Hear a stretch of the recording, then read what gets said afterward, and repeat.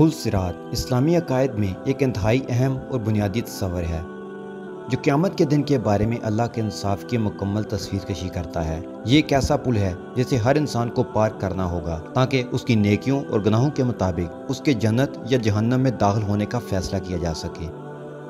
اس video میں ہم پل سرات کے اسلامی تصور کو تفصیل سے بیان کریں گے اور ساتھ میں سائنسی نقطہ نظر کا بھی جائزہ لیں گے۔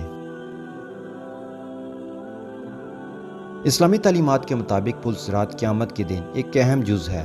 یہ ایک پل ہے جو جنت اور جہنم کے درمیان ہوگا اور اسے ہر شخص کو پار کرنا ہوگا۔ یہ پل ایک امتحان ہے جس میں ہر شخص کی نیکیاں اور برائیاں پرکھی جائیں گی۔ روایات میں آتا ہے کہ پل سرات کی باریکی اور تیزی غیر معمولی ہوگی۔ بعض احادیث میں اسے بال سے بھی باریک اور تلوار کی دار سے بھی تیز قرار دیا گیا ہے۔ اس کی باریکی اور تیزی کا مقصد یہ ہے کہ انسان کی نیکیوں اور ایمان کا امتحان لیا جائے۔ جو لوگ نیک اور پرہیزگار ہوں گے، وہ آسانی سے اس پل کو پار کر لیں گے، جبکہ گناہ گاروں کے لیے یہ پل پار کرنا نہایت مشکل ہوگا۔ پل سرات کی خصوصیات کی بات کریں کہ یہ کیسا ہوگا؟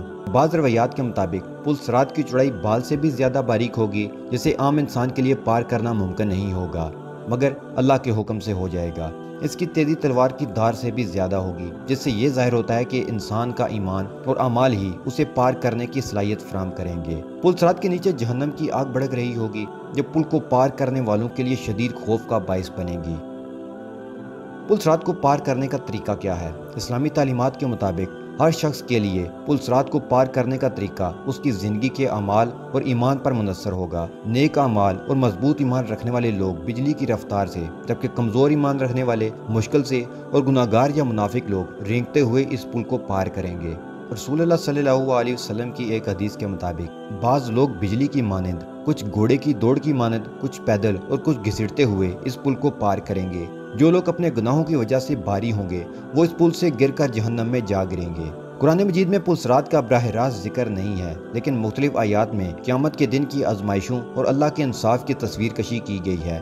مثلا، اور تم میں سے ہر ایک کو اس جہنم پر سے گزرنا ہوگا، یہ تمہارے رب کے ذمہ ایک طے شدہ فیصلہ ہے۔ یہ آیت پلسرات کے تصور کی جانب اشارہ کرتی ہے، جہاں ہر انسان کو جہنم کے اوپر سے گزرنا ہوگا۔ احادیث میں پلسرات کا ذکر زیادہ تفصیل سے کیا گیا ہے۔ جنت اور جہنم کی جانب سفر۔ اسلامی تعلیمات کے مطابق، جو لوگ پلسرات کو کامیابی سے پار کر لیں گے، وہ جنت میں داخل ہوں گے۔ جنت اللہ کی نعمتوں سے بری ہوگی اور وہ لوگ وہاں ہمیشہ کے لیے سکون پائیں گے۔ اور جنت میں داخل ہونے والوں کے لیے اللہ کی رضا اور دائمی خوشیوں کا وعدہ ہے۔ دوسری جانب، جو لوگ اس پل سے گر جائیں گے، وہ جہنم میں ڈالے جائیں گے، جہاں انہیں ان کے گناہوں کی سزا ملے گی۔ جہنم کی آگ درد اور تکلیفیں ان کا انتظار کریں گی۔ اس لیے اسلامی عقائد میں نیکی کی طرف مائل ہونا اور گناہوں سے بچنا انتہائی اہمیت کا حامل ہے۔ ہم یہاں سائنسی نظریے کی بھی بات کریں گے۔ پلسرات اسلامی عقائد میں ایک روحانی اور مذہبی تصور ہے۔ سائنسی نقطہ نظر سے اس کا کوئی مادی ثبوت یا تحقیق موجود نہیں ہے۔ جو اس کی تصدیق کر سکے، سائنس انسانی عقل کی حدوں میں رہ کر تحقیق کرتی ہے۔ یعنی کہ انسان جو دیکھتا ہے، سنتا ہے، جو محسوس کرتا ہے۔ سائنس صرف اسی پر تحقیق کر سکتی ہے۔ اور روحانی دنیا اور آخرت کے مسائل اس کے دائرہ کار سے باہر ہیں۔ یعنی سائنس صرف ان چیزوں کی تحقیق کر سکتی ہے جو مادی طور پر ہمارے سامنے موجود ہوں یا جن کے بارے میں تجربات اور مشاہدات کے ذریعے معلومات حاصل کی جا سکیں۔ پلسرات کا تصور ایک روحانی تصور ہے، جس کا تلق انسانی عقل اور موجودہ سائنس سے باہر ہے۔ اسلامی تعلیمات کے مطابق، آخرت ایک ایسی دنیا ہے جو اس دنیا کی حدود سے باہر ہے۔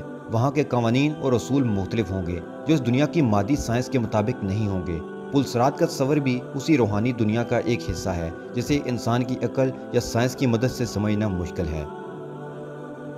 اسلام میں ایمان کی بنیاد ان چیزوں پر یقین کرنے پر ہے، جو انسان کی آنکھوں سے اوجل ہیں، جو مادی دنیا سے مختلف ہیں۔ پلسرات قیامت، جنت اور جہنم جیسے موضوعات کا تلق ایمان سے ہے، جو انسان کو نیکی کی طرف مائل کرتے ہیں، اور اسے برائی سے بچنے کی تلقین کرتے ہیں۔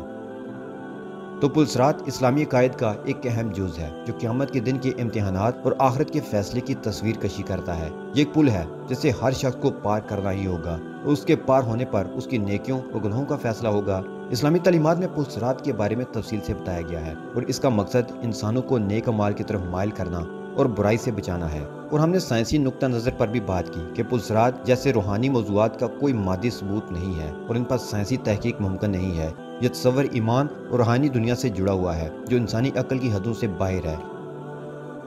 پلسرات کا تصور ہمیں اپنی زندگی میں نیکی اور برائیوں کے درمیان فرق کرنے، نیکیوں کو اختیار کرنے اور گناہوں سے بچنے کی ترغیب دیتا ہے، تاکہ ہم قیامت کے دن اس پل کو پار کر کے جنت میں داخل ہو سکیں۔ پلسرات کا ایمان و عقیدہ اسلامی تعلیمات کا ایک لازمی حصہ ہے۔ اور اس کی موجودگی انسان کے روحانی سفر میں نیکی کی تلاش اور اللہ کی رضا حاصل کرنے کی کوششوں کا مقصد ہے۔